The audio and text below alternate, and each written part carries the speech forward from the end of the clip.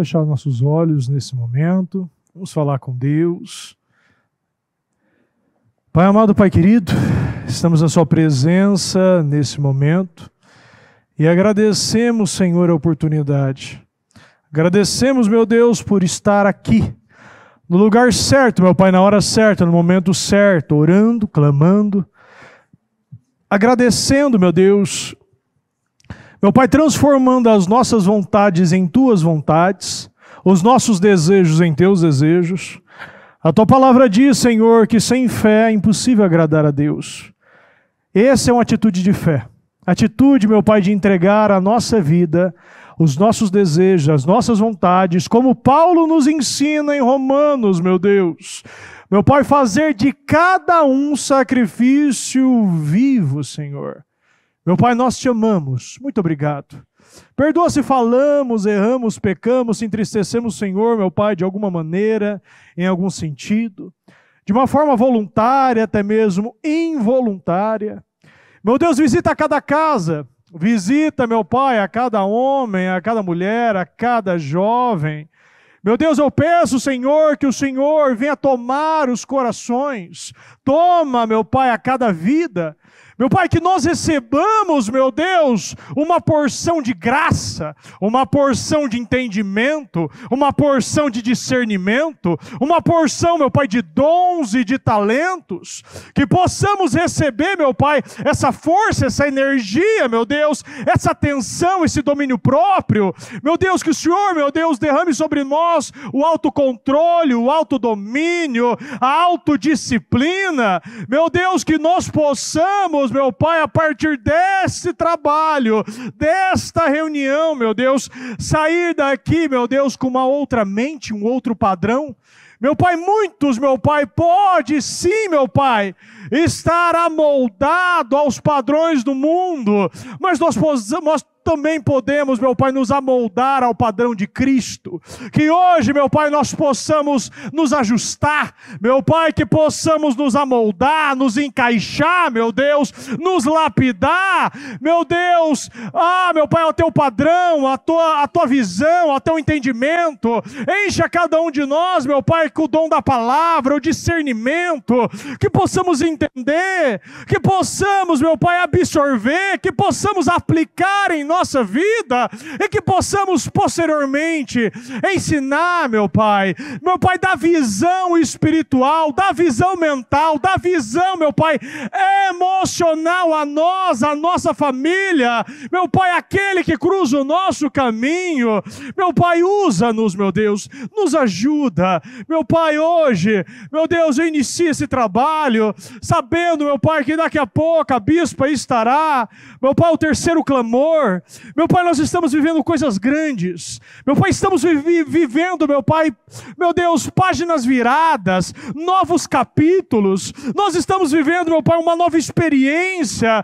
Meu Pai, segunda-feira o Senhor nos entregou isso, meu Deus, para nós vivermos aquilo que nós não vivemos ainda. O extraordinário, o inédito, temos que esforçar, nos esforçar de uma maneira inédita, nos esforçar de uma maneira sobrenatural sobrenatural. Meu Pai, sair do padrão normal, do comum, e ir para o padrão extraordinário, meu Pai. Meu Deus, sair dos 40% e chegar aos 100%, meu Deus, e viver, meu Pai, a integralidade, os 100% de bênçãos, 100% de curas, 100%, meu Pai, de uma vida abundante, que João 10,10 10 nos ensina. Meu Pai, nos ajude eu entrego esse trabalho, essa reunião em, em tuas mãos. Que não seja eu, a Jéssica, meu Deus, realizando esse trabalho, mas seja o teu espírito. Que nós possamos ser cheios, cheios, cheios, cheios, meu Deus, do teu Espírito Santo, transbordando. E que através, meu Pai, de nós, meu Pai, o Senhor possa, meu Deus, com esses instrumentos, meu Pai, como o Senhor poderia usar qualquer um, mas o Senhor está pela tua misericórdia, usando nós, que possamos elevar, meu Pai, as mentes, os padrões e o entendimento de cada um. Nós te amamos e te agradecemos em nome do Senhor Jesus. Amém.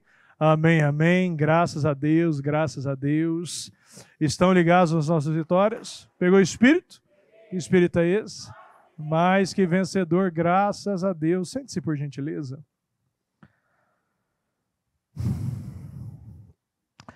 Fique, repita comigo, fique com a voz de Deus. Na segunda-feira, ainda, eu falei ainda ah, o primeiro versículo que eu falei foi que, mesmo quando ninguém persegue o ímpio, ele está correndo, mas o justo fica firme. E as vozes vão aparecer todo momento. A voz de parar, a voz que você já trabalhou demais, a voz que você está cansado, você tem seus motivos, você tem o seu momento, que a vida não é só trabalho, as frases prontas né, que o mundo ensina aqueles que infelizmente não encontrou ainda identidade em Deus. Então essas vozes como o eu mereço, isso é para mim, eu já trabalhei muito, é algo que não faz parte da vida do cristão. Nós temos um objetivo na nossa vida. E a única voz que nós temos que seguir é a voz de Deus. É a voz das pessoas que são guiadas por Deus. É a voz do Espírito Santo. Isso sim vai te trazer uma vida vitoriosa. No livro de Atos 17, na NVI, uh, vamos começar no versículo 2.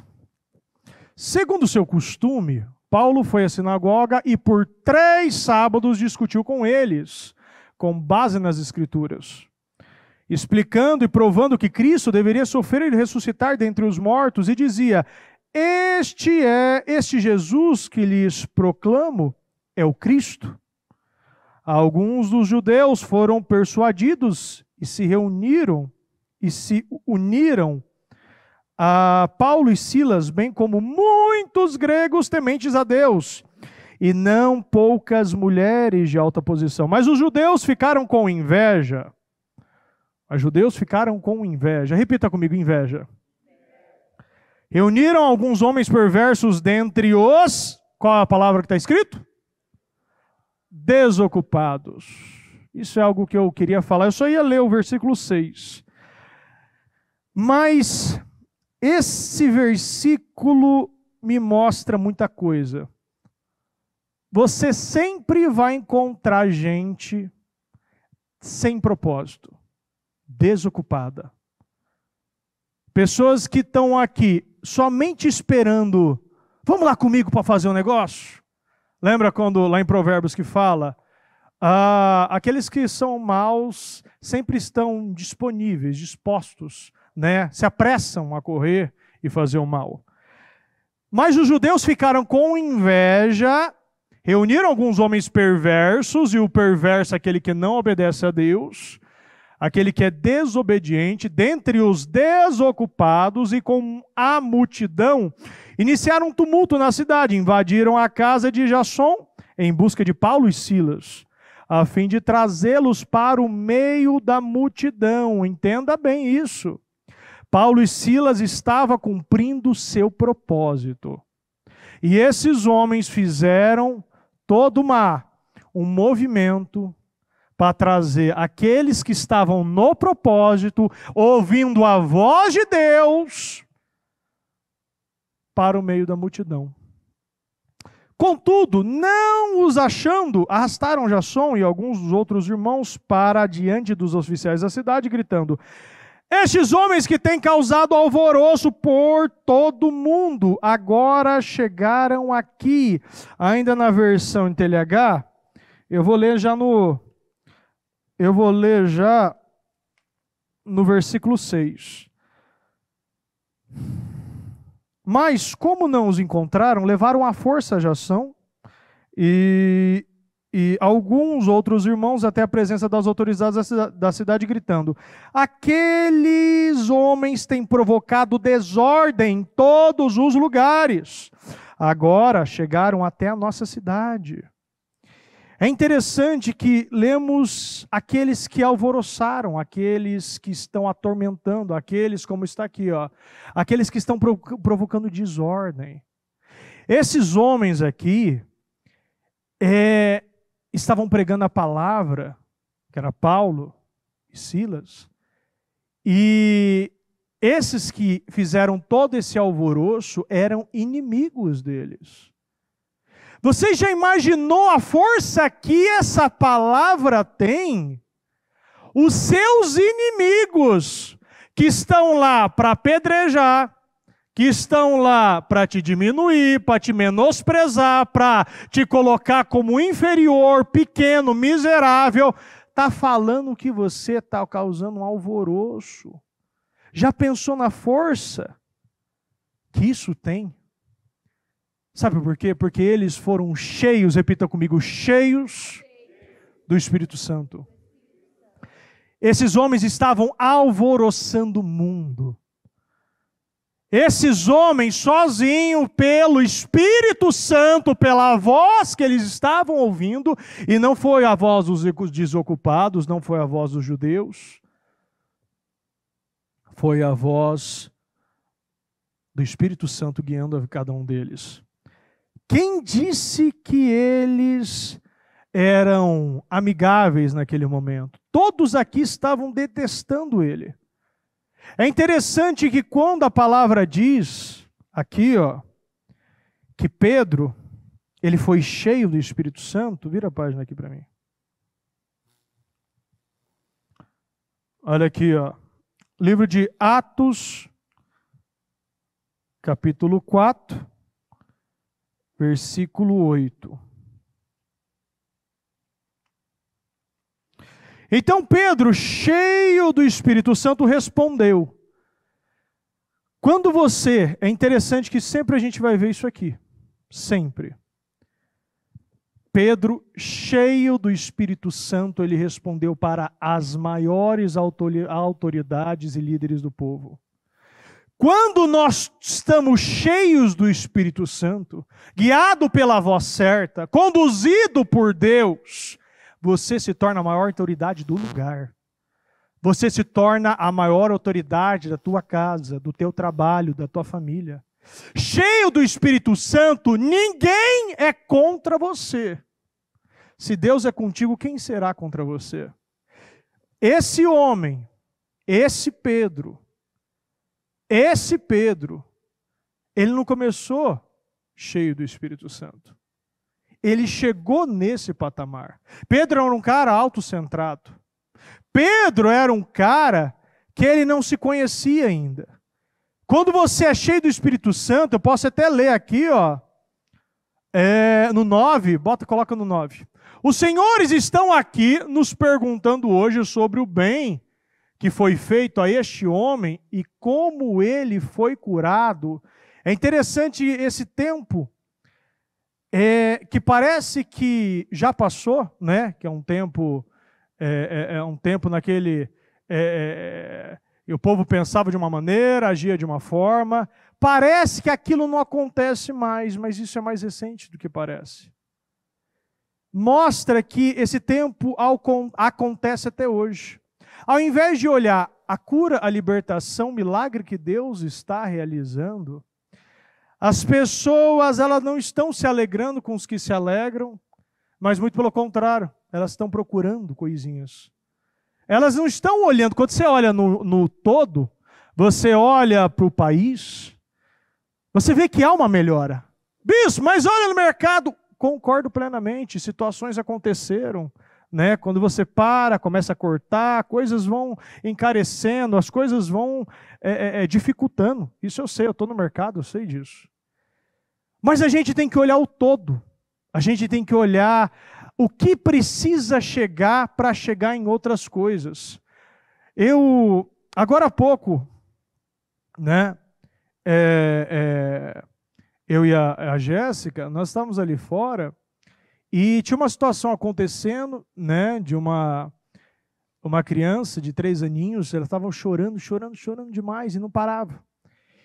E aquilo não chegou aquela, naquele ponto de uma hora para outra. ela não tinha limites, ela não parava de chorar um minuto, ela não se controlou. E aquela situação foi gerando desgaste, desequilíbrios, e o pai ele quis uh, disciplinar, segurando a criança. Não, você não vai descer até você se acalmar. Tem que se acalmar. Mas aquilo parecia que algo seria rápido, dois, três minutos. Eu fiquei, eu fiquei ali quase meia hora e ela não parava. Mas ela não chegou nessa posição de uma hora para outra. A corda foi solta e aquela criança, ela não está somente chorando. Ela está batendo nas professoras, dando tapa na cara da professora, dos pais, da mãe. Uma criança de três anos. É uma esponjinha. Ela não, apare... ela não nasceu dessa maneira, ela foi sendo. É, é, é, a corda foi solta e ela chegou nessa posição de não ouvir nãos. A falta do não vai chegando em posições como essa. A falta de ouvir a voz certa, a, a, a falta de, é, de ser conduzido por Deus, a gente começa a ouvir coisas, como eu não posso corrigir meus filhos, eu não posso botar de castigo, como esses tempos eu ouvi uma criança de seis, eh, sete aninhos, a mãe corrigiu, apareceu na, apareceu na TV uns tempo atrás, ela ligou para a polícia, falou que minha mãe está me batendo, a polícia foi na casa dela, e ela estava corrigindo de uma forma correta, mas a criança ouviu na escola que tinha essa lei e ela era protegida, agora as crianças estão ligando para prender os pais. O poste está mijando o cachorro. Olha a inversão. O controle foi trocado. O que era certo virou errado, o que é errado está virando certo. E ao invés de. Deixa no 9 aí. Ao invés das pessoas olharem e observarem aquilo que Deus está fazendo, coloca no versículo 9, por favor. Os senhores estão nos perguntando hoje sobre o bem que foi feito a este homem e como ele foi curado. Pois então, senhores e todo o povo de Israel, fiquem sabendo que este homem está aqui completamente curado pelo poder do nome de Jesus Cristo de Nazaré, aquele que os senhores crucificaram e que Deus ressuscitou. Pedro não chegou nessa posição, nessa mentalidade, nessa humildade de uma hora para outra. Ele teve que passar pelo funil. Ele teve que bater de frente, olhar para o espelho da consciência e saber quem era Pedro. Sabe o momento que Pedro descobriu quem era Pedro? Lucas 22. Pedro respondeu: Homem, não sei do que você está falando, falava ele ainda quando o galo cantou.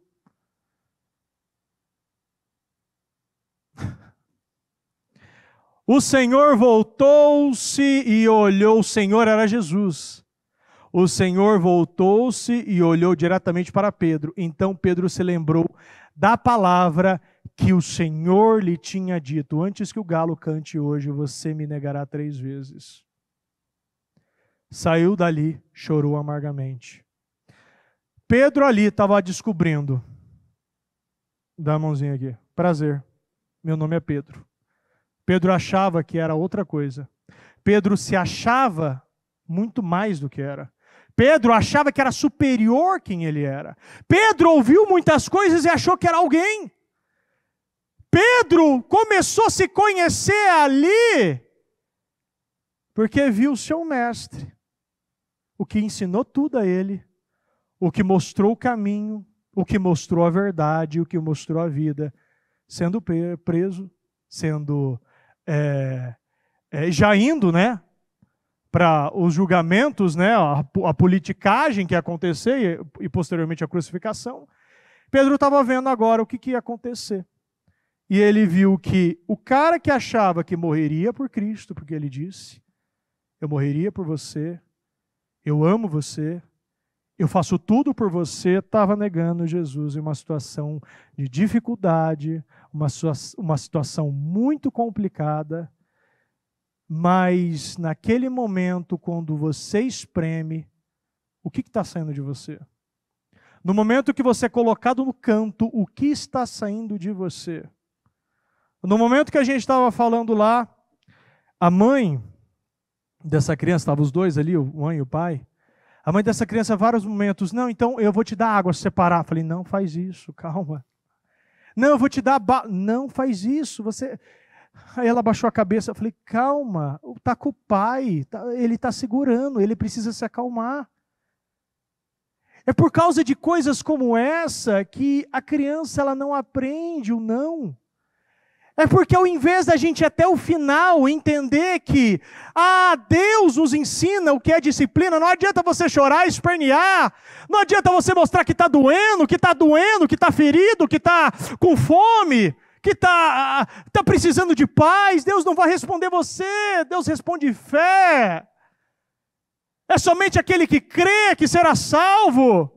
Não é pela dor, e por causa disso muitos não param de chorar e ficam, em vez de 30 minutos, estão há 30 anos esperando Deus socorrer, mas esperando pela dor e não pela fé. Pedro estava conhecendo quem ele era. A nossa visão precisa ampliar. E nesse momento Pedro estava se esvaziando do Pedro. O Pedro que achava que era uma coisa e não era. O Pedro que achava que se conhecia, mas não se conhecia. Ele chorou amargamente. Ou ele realmente conheceu quem era Pedro. Tudo que recebemos, nós precisamos transbordar. A nossa visão, ela precisa ser ampliada e, ser, e precisamos parar de pensar em nós Precisamos parar de olhar as pessoas que amamos e começamos e começamos a partir do momento que há o entendimento, eu preciso agradar a Deus. Eu não posso desagradar a Deus por um filho, eu não posso desagradar a Deus por uma esposa ou por um marido. Deus é o meu Deus. Deus ele precisa estar acima de tudo. Ele que me lidera, Ele que me conduz, Ele é meu amigo, Ele é o consolador, Ele que vai me curar, Ele que me levanta, Ele que me sustenta, Ele que me, que me puxa. Como eu falei ainda na segunda, quando Pedro afundou, ele estava lá com a mão estendida, não foi os onze discípulos que tiraram ele da água, foi Jesus que estava com a mão estendida e tirou ele da água. Não foi os onze que dormiam com ele, comiam com ele e estudavam com ele, que eram como irmãos? Foi Jesus.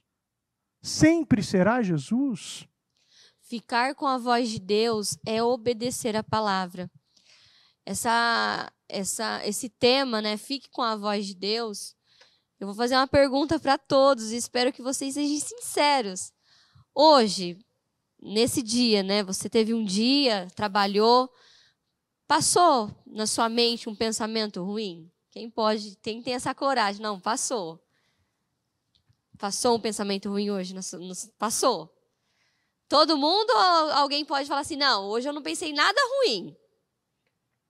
Todo mundo pensou, né? Passou um pensamento ruim. Passou, não passou? Eu também. Também passou um pensamento ruim. A diferença é que você decidiu ficar com a voz de Deus ou você alimentou esse pensamento? Será mesmo? Porque ficar com a voz de Deus é cancelar todos os pensamentos ruins. O medo, a angústia, a tristeza. Provavelmente você passou pensamentos, nossa, eu estou buscando, eu estou orando, hoje eu poderia ter fechado esse negócio, hoje eu poderia ter, nossa, estava ali pronto para eu conquistar, para eu avançar, estava tudo certo para aquilo acontecer, é, tava, eu já tinha tudo planejado e de repente foi totalmente contrário daquilo que eu tinha planejado, daquilo que eu esperava de Deus, e aí vem aquele pensamento ruim. Aquele sentimento que Deus não está vendo, Deus não está fazendo, mas é onde você precisa é agir a fé. Pensamentos ruins, todo mundo tem. A diferença é daqueles que cancelam, não aceitam, ficam, ficam com a palavra. E será que você tem ficado com a palavra? Será que você tem ficado com a voz de Deus? Será que você tem dado crédito à palavra? Será que você tem dado crédito, crédito à voz de Deus? É interessante que é, eu tô, estou percebendo essa semana que são muitos os ataques, né? E essa semana eu estava vivendo uma situação que eu, eu tinha acabado de escutar o programa. o programa Mudança de Vida. tinha acabado de escutar. E aí eu fui tomar café e aconteceu, o café da manhã aconteceu uma situação em que eu fui tentada e contra a palavra que eu tinha acabado de escutar. E na hora eu peguei e pensei, calma. Aí tava várias pessoas conversando e eu, calma, Jéssica, você ouviu algo sobre isso hoje? Onde foi que você ouviu? Aí, eu, aí veio assim, eu ouvi a voz de Deus. Fique atenta. Você ouviu isso agora de manhã. Você assistiu o programa, você ouviu. Isso é uma cilada, isso é uma seta, não caia. E de imediato eu fechei a minha boca, eu calei a minha boca, e, e dentro assim eu só clamava: Jesus, sim, Senhor, eis-me aqui, eu estou ouvindo a Sua voz, eu estou atento à Sua voz. Eu entendi, eu não vou ceder, mas eu vou praticar aquilo que eu acabei de ouvir. E a maior dificuldade de algumas pessoas é praticar é ouvir. Talvez você está aí e fala assim: nossa, pastor, então eu acho que eu nunca ouvi a voz de Deus. Todo mundo está ouvindo a voz de Deus. Você está aqui, no, você está ouvindo a voz de Deus. Ouvir a voz de Deus é você obedecer a palavra, é você obedecer aquilo que está sendo passado, ensinado a você. É seguir as escrituras, é fazer aquilo que as escrituras está te direcionando né? Se foi, você foi, você já sabe que você não pode mentir, você é tentado a mentir num negócio, a fazer algo ilícito, você sabe que você não pode fazer aquilo. Isso é ouvir a voz de Deus. Não, eu sei que eu não devo fazer isso. Eu sei que eu não devo praticar isso, então eu não vou fazer. Ainda que seja tentador. Você sabe que você não pode ceder para depressão, para tristeza, para angústia, mas quando vem aquela angústia, aquele sentimento, aquela, aquela situação que vem para te oprimir, você já tem que combater. Não, eu não aceito isso. Eu não aceito a angústia, eu não aceito a tristeza, isso não provém de Deus. Isso é ficar com a voz de Deus. Mas quando ainda você insiste, insiste, você começa a alimentar os seus pensamentos, alimentar os seus sentimentos, isso vai gerar mais derrota para a sua vida. A palavra aqui é clara. Fique com a voz de Deus. Ficar com a voz de Deus é praticar a palavra, é ouvir e praticar. Ouvir e praticar. Da semana passada, do, do, do segundo clamor, do romper, do culto, dos cultos que foram realizados, o que você praticou? Da palavra de segunda-feira, seja ousado, vá em frente, coragem. O que você praticou? Qual, o que, que você fez? Qual é algo inédito que você está fazendo na sua fé que você nunca fez antes? Será que você está dando ouvido? Será que estamos dando ouvido à voz de Deus? A voz de Deus, ela é clara, não tem dúvida. Não adianta uma pessoa falar assim, ah, eu tenho dúvida. Se alguém falar para mim, eu tenho dúvida se é a voz de Deus ou, ou se é, sou, sou eu, os meus sentimentos. A voz de Deus é clara, porque Deus é do sim, sim, do não, não. Então, se isso agrada a Deus, sim, isso, é, essa é a voz de Deus. Se isso não agrada a Deus, então essa não é a voz de Deus. É a voz de qualquer outra pessoa. É a voz dos meus sentimentos, das, das minhas emoções, daquilo que eu quero. Então temos que tomar cuidado e praticar a palavra. Sim. E praticar a palavra é ouvir a voz de Deus. Sim.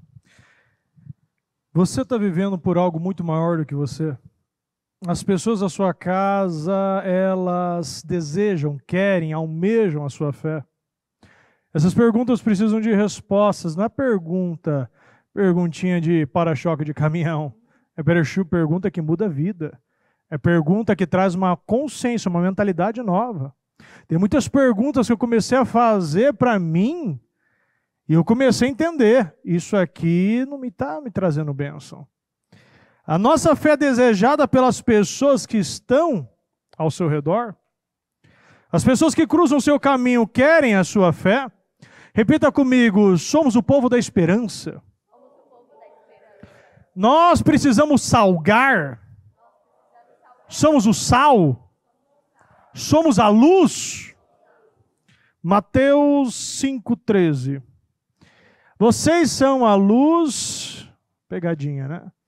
Vocês são o sal da terra, mas se o sal perder o seu sabor, como restaurá-lo? Não servirá para nada, exceto para ser jogado fora e pisado pelos homens. Se nós se misturarmos com tudo que acontece aí fora, você não tem diferença nenhuma. Se você chega numa roda de amigo, é o mesmo piadista imoral, toma a, a, a, toma cervejinha, faz as piadinhas, olha as mulheradas. Que sal é esse? Você continua sem sabor. Você continua mais um na multidão. Não há diferença entre você e o mundo. Mas se você chega e faz a diferença, se você chega e as pessoas mudam, elas alteram seu comportamento porque sabe que você não concorda com isso, aí sim, meu amigo. Aí sim você está salgando. Aí sim as pessoas estão incomodadas. Pode não gostar, mas tem que respeitar. A autoridade que eu falei no início aqui de Pedro, quando ele foi cheio do Espírito Santo, ele falou autoridades e líderes do povo. Quando você recebe o Espírito Santo, as pessoas param para te ouvir. Se as pessoas não estão parando para te ouvir, é porque talvez Deus não está mais te ouvindo. Uh, 14. Vocês são a luz do mundo, não se pode esconder uma cidade construída sobre um monte. Nós somos, uma, somos a luz. Quanto nós vamos. É, é, é quando a gente vai, literalmente, nas madrugadas, à noite, fazer trabalhos sociais, a gente vê literalmente a escuridão literalmente as trevas. A gente vê fome, a gente vê doença, a gente vê situações com crianças, a gente vê muita coisa. E se você não está no propósito, você entra numa proposta. Você é alterado. Você acha que você está ajudando, mas não está. Se você não cumpre o teu propósito e sabe que você fez o seu melhor, a vara foi dada agora. As pessoas têm que pescar. As pessoas não podem mais viver pelo auxílio. O problema é que muitos é, é, do mundo, o problema é que a, a, uma grande parte da população aprendeu uma cabeça de auxílio. Eu preciso ser auxiliado por uma pessoa.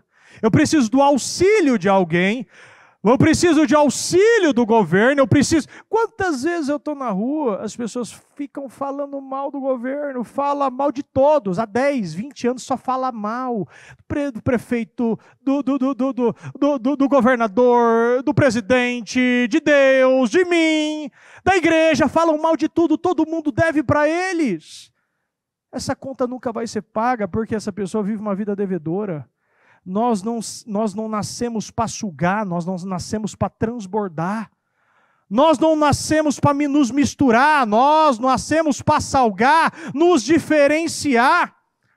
Nós não nascemos para ser mais um, nós nascemos para ser líderes, homens e mulheres fortes como leões. O leão, ele não retroage, ele não, ele não volta, ele não foge. A Bíblia diz. Nós não somos um povo pequeno ou incapaz. O Espírito Santo ele impulsiona as pessoas. Ele impulsiona o espírito. E quando nós vemos aqui, ó, que nós recebemos o espírito da autoridade, nós recebemos o espírito da sabedoria, o discernimento, nós nos transformamos literalmente em outras pessoas. Quando, quando o Espírito Santo tomou a vida de Saul, a Bíblia diz, ele se transformou em uma pessoa diferente. Aqui, no Salmos, cento, Salmos capítulo 11, versículo 3, fala algo que a bispa já fez um culto inteiro sobre isso. Quando os fundamentos estão sendo destruídos, o que pode fazer o justo? Eu gostei muito da versão NTLH também. O que pode fazer a pessoa honesta quando as leis e os bons costumes são desprezados? O nosso padrão é seguir a Deus. O nosso padrão é ter fundamentos bíblicos, cristãos. O nosso padrão é ser, como aqui a Bíblia diz, uma pessoa honesta. O que pode fazer uma pessoa honesta quando as leis e os bons costumes são desprezados? Quando a gente perde os valores, quando a gente perde os princípios, quando a gente perde o respeito, o que pode fazer uma pessoa honesta? Isso não pode ser desprezado porque a quantidade de criança, a quantidade de jovem que tem valores alterados, princípios trocados e todos diminuídos. Eu falei recentemente com uma pessoa e os filhos, eles ficam na média de 8 a 10 horas do videogame por dia. É assustador. Quando todas as brigas que acontecem na casa, ele fala que é por causa do videogame. Quase todas, né? Aí você percebe, olha os valores, olha os princípios, brigando por jogos. A vida não é um jogo. Se a energia acabar, meu amigo, vai fazer o quê com o videogame? Vai fazer o quê com a TV? O nosso valor é muito maior do que um videogame, do que um jogo. Nosso valor, o nosso valor é muito maior do que um jogo de futebol. Quantas pessoas estão se matando por política, se matando por futebol, se matando por mulher? Quantas pessoas estão se matando por namoradinho, namoradinha, por vícios, coisinhas miseráveis. Os valores estão sendo quebrados, destruídos, os fundamentos estão sendo desprezados. Aqui a Bíblia diz, ó, os bons costumes. Olha, quantas vezes, olha, quem é das antigas sabe, que somente depois que os adultos comiam, que as crianças podiam comer. Ai, se falava não gosta de alguma coisa, um olhar, não precisava abrir a boca. O olhar, eu sou do interior, a gente via muito isso. Sou, quando você olha, você olha, já responde tudo. É uma frase. Você já sabe o que é, você já sabe o que tem que fazer e você já sabe como se desculpar. Com um olhar. Hoje, a gente vê situações aí de Filho batendo em mãe, filho e filha batendo em pai, sendo é, é, quase é, é, é se sentindo que estão quase morrendo quando vem para a igreja. Fica aqui dentro da igreja assim, mortos. Quantas vezes a gente pega aqui jogando joguinho no celular? E a mãe do lado, ah, pelo menos está aqui. Não, tem que respeitar. A casa de Deus tem que ser respeitada. Os valores e costumes, quando a pessoa antigamente, no Velho Testamento, se a pessoa entrava desconcertada, morria na hora dentro do templo. Quando estavam levando a arca da aliança, o boi pendeu para o lado, o cara, a asa, só quis segurar, morreu na hora. Você não pode tocar no que é santo. A presença de Deus, a igreja, as coisas de Deus é muito séria. Nós precisamos respeitar a casa. Nós precisamos respeitar os bons costumes, os fundamentos.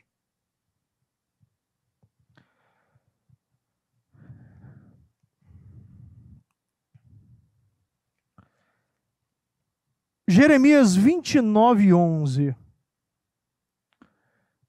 Porque eu sou, porque sou Sou eu que conheço os planos que tenho para você, diz o Senhor. Plano de fazê-lo prosperar e não de lhes causar dano. Plano de dar-lhes esperança e um futuro. É tão interessante isso, porque é, é uma das coisas que eu mais vejo a bispa escrever quando alguém pede para autografar a Bíblia. Ela sempre coloca 20, Jeremias 29, 11. Porque essa, essa, essa palavra ela mostra o que realmente nós queremos. Porque sou eu que conheço, deixa o versículo por gentileza. Porque sou eu que conheço os planos que tenho para você. Quem disse que o, o seu melhor é o melhor que Deus tem para você? Quem disse que seu plano é melhor do que o plano de Deus? Quem disse que aquilo que está nos seus projetos de conquista não chega nem às sombras do que Deus tem para você. Planos de fazê-los prosperar.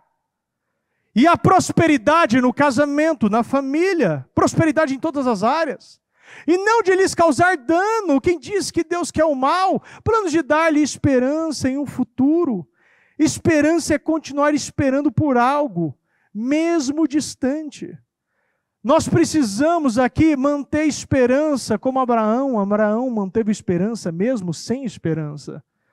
Ele precisou relembrar, ele precisou guardar aquilo que Deus teve para ele. Foi uma promessa. sempre esperando mesmo quando aquilo não tem mais a possibilidade. Repita comigo, somos o povo da esperança. Olha aqui, ó, Romanos 15, 13. Que o Deus da esperança os encha de toda alegria e paz, por sua confiança nele, para que vocês transbordem de esperança pelo poder do Espírito Santo.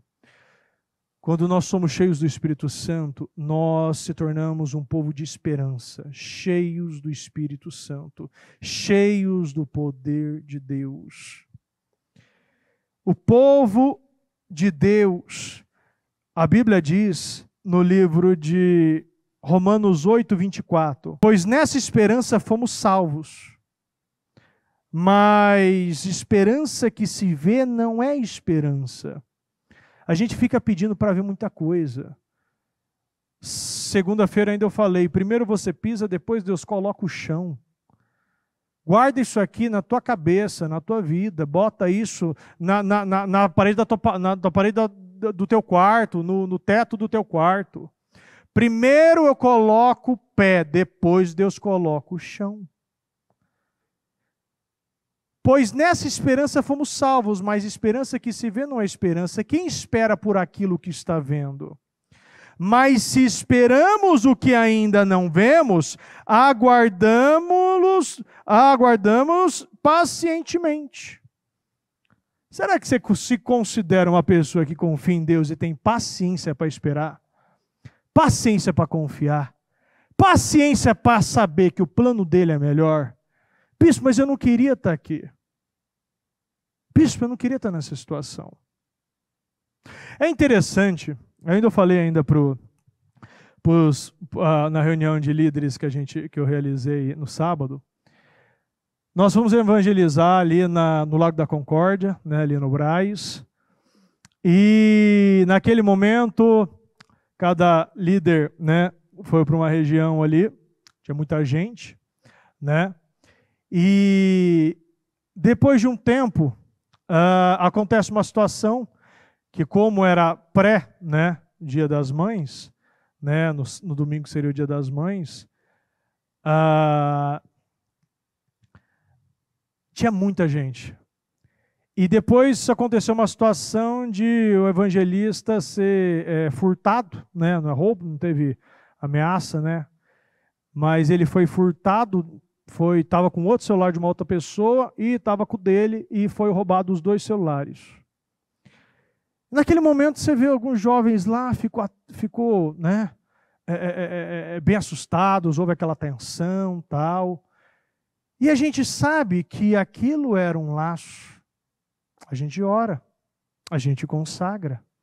Isso não. É, na realidade, foi a primeira vez que aconteceu isso, em anos de evangelismo.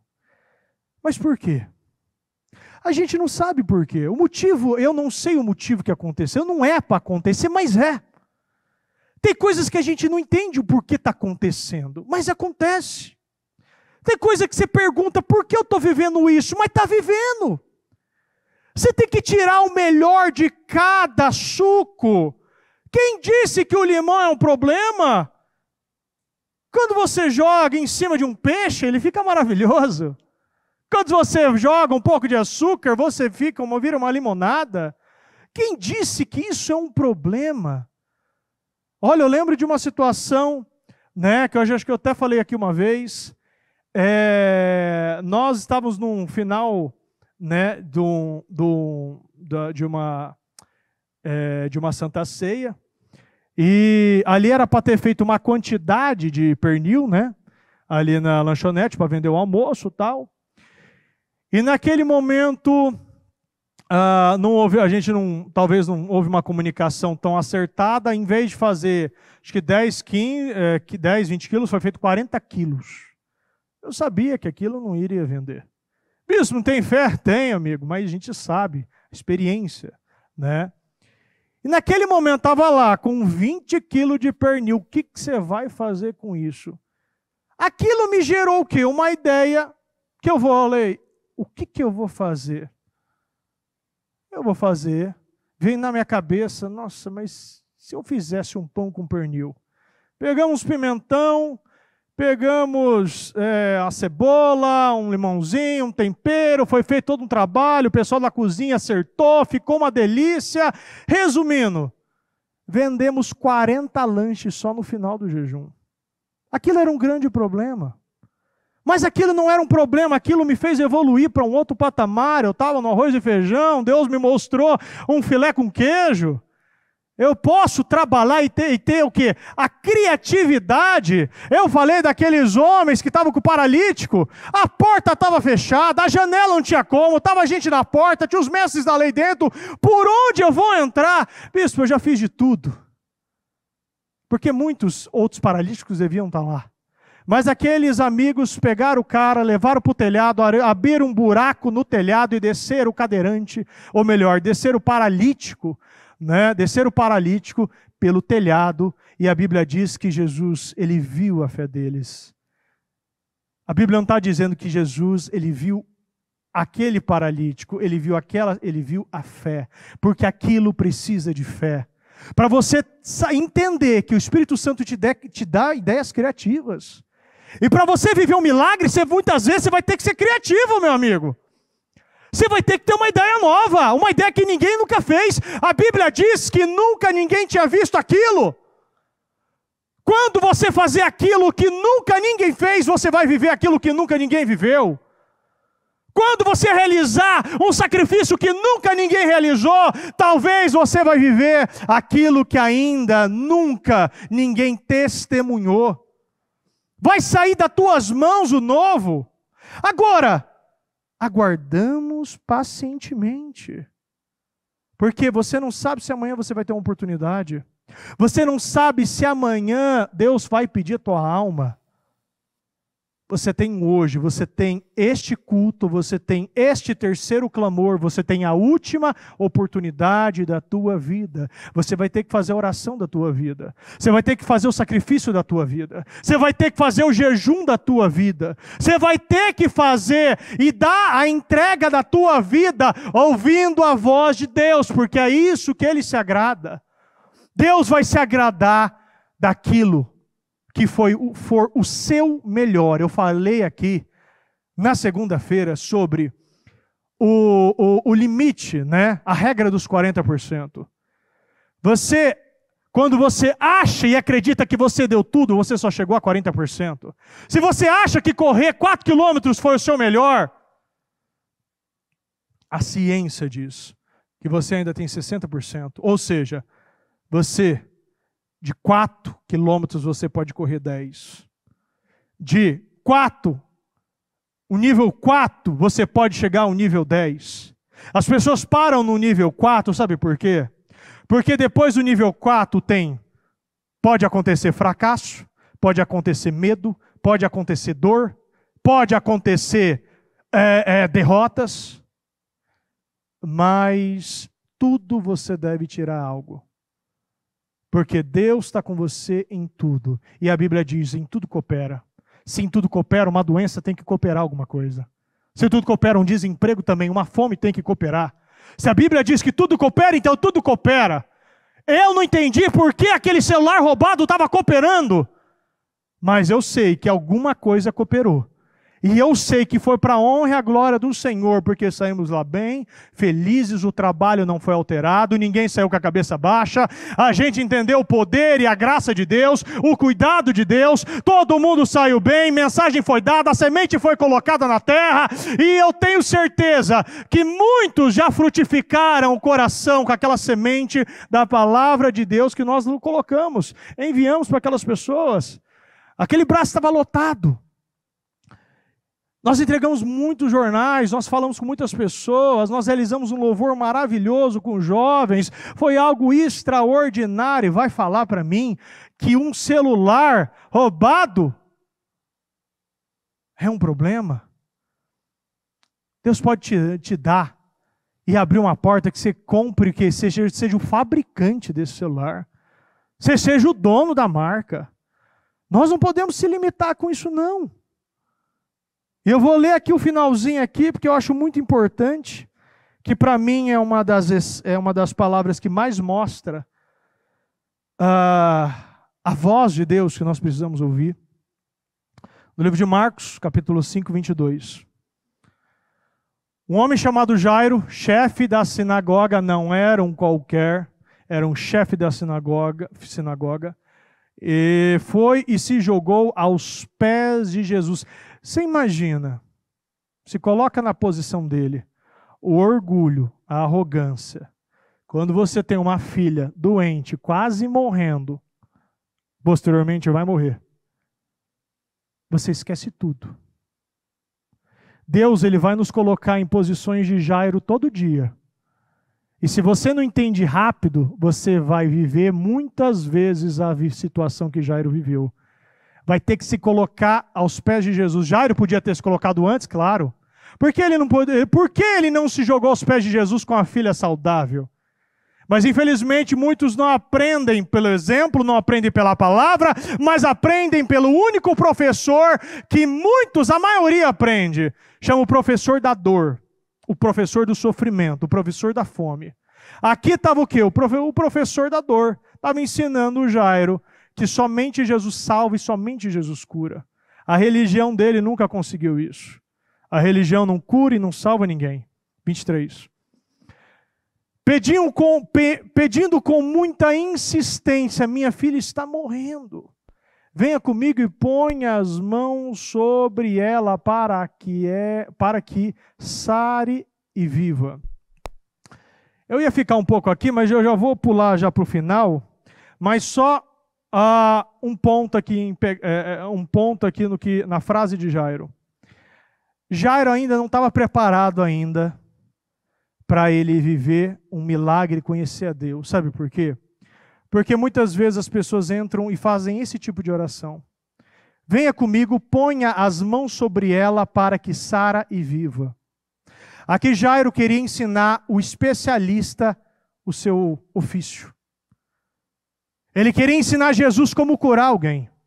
Ele queria mostrar para Jesus que você vai chegar na minha casa, vai poder botar a mão direita na cabeça dela e ela vai sair viva. Mas quem diz que Deus trabalha no seu plano? Quem diz que Deus cura da sua maneira? A cananeia foi o que? Lá. Quando ele e a cananeia, o milagre aconteceu lá. A filha dela foi curada de longe. Deus ele pode fazer de todas as maneiras, de todas as cores, de todas as formas, em qualquer situação, em qualquer circunstância, em qualquer problema. Nós não podemos mais querer ensinar Deus como trabalhar. Se não aconteceu no propósito dos dez vezes mais, confia e seja paciente, porque vai acontecer. Se não foi hoje, vai ser amanhã. Se não for no terceiro clamor, vai ser no quarto. Se não for no quarto, vai ser no quinto. E se nunca acontecer, seja grato, porque um dia você conheceu-se Deus.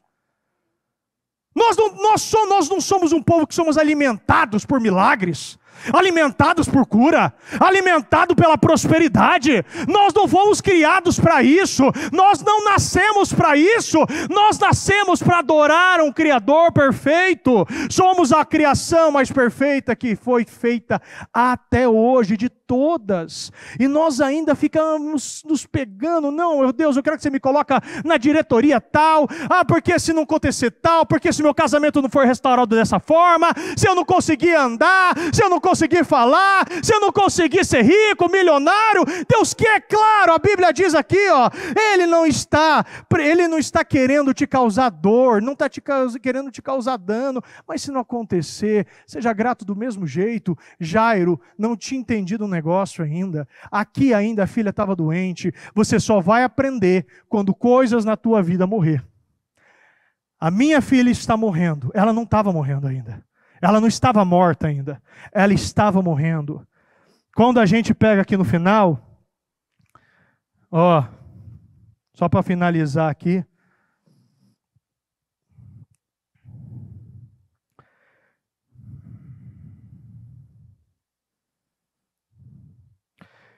E Jesus, 34, e Jesus disse: Minha filha, você sarou porque teve fé. Vá em paz e você está livre do seu sofrimento. Mulher com fluxo de sangue.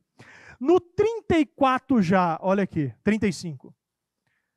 Jesus ainda estava falando. Quando chegaram alguns empregados da casa de Jairo, quantas vezes Deus está falando, quantas vezes você está no momento com Deus, quantas vezes você está na igreja, quantas vezes você está ouvindo a palavra, quantas vezes ainda você está sendo alimentado e chega os problemas para te parar. chega o problema para te travar, para te fazer retroceder. Ainda eles estavam falando, olha aqui, ó. Jesus ainda estava falando quando chegaram alguns empregados da casa de Jairo e disseram: Seu Jairo, a menina já morreu. Não aborreça, não aborreça mais o mestre. A menina já morreu. Acabou, não precisa mais. Sai da igreja, pode sair. Você não conseguiu aqui no 52? Não, você não conseguiu nas sete semanas aqui do, do propósito, dez vezes mais? Pode sair para a igreja, vai para outra. Lá tem um avivamento. Não, tem um lá, cara, que dá um helicóptero, que dá um mortal, que faz tudo. Vai lá que tem um com paninho que cura até, acelera até tartaruga. Todo mundo quer fazer o quê? Milagre de milagre miojo. Já ouviu falar? Acabei de inventar. Milagre miojo. Milagre de três minutos. Milagre rápido. Mas eu falo uma coisa: o dia que você comer um macarrão, da farinha até o preparo, até o cozimento, do molho especial, você nunca mais come miojo. Deus não te trouxe para comer miojo, o problema nem é com miojo, tem um monte de miojo em casa, às vezes eu como, entendeu? Mas, para a bênção de Deus ter na minha vida, eu não quero milagre miojo, eu quero milagre que me faça aprender, eu quero palavra que me faça crescer, eu quero bênção que me faça evoluir. Eu quero testemunhos que me façam aprender. Eu não quero viver coisa rápida que eu aprendo, eu sou curado e saio da igreja. Eu quero viver coisas poderosas na minha vida. Mas Jesus não se impedisse a Jairo: não tenha medo, tenha fé. As notícias ruins vão chegar a todo momento. Fique com aquilo que Deus está falando com você. Fique com aquilo, a palavra de Jesus, mas Jesus não se importou. Se Jesus não se importa, é porque eu também não devo me importar. Se Jesus está me ensinando, é porque eu também devo aprender. Esse é o momento de você entender. Não tenha medo. Repita comigo: não tenha medo. Não terei medo. Terei fé. Terei confiança. Terei persistência. As notícias e as vozes vão chegar, mas fique com a voz de Deus. Amém?